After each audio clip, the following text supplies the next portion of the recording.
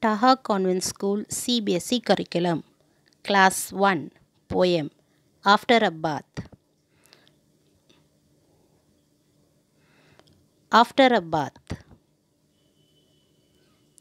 In this poem, a child is talking about what he does after a bath. He says that after his bath, he tries to wipe himself till he is dry.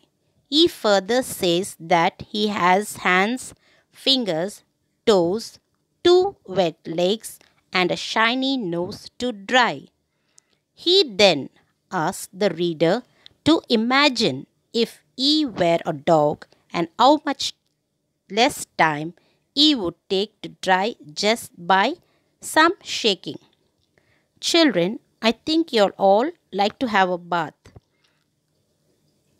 After a bath, what we do?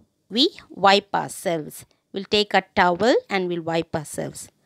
But if we give a dog a bath, what the dog will do? It will just shake. Two shakes he does, he will get dry. Okay? Now let us go to the poem. After my bath, I try, try, try to wipe myself till I'm dry, dry, dry.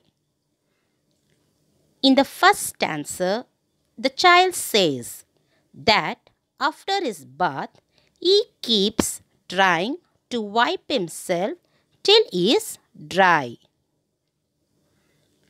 Hands to wipe, and fingers and toes, and two wet legs and a shiny nose. In the second stanza, he tells what parts of the body he has to dry.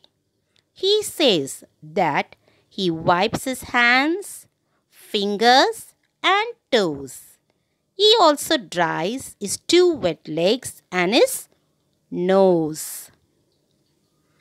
Just think how much less time did I take if I were a dog. He could shake, shake, shake. In the third stanza, the little child asks the reader to do some imagination. He says that what if he were a dog? How much less time it would take to dry himself?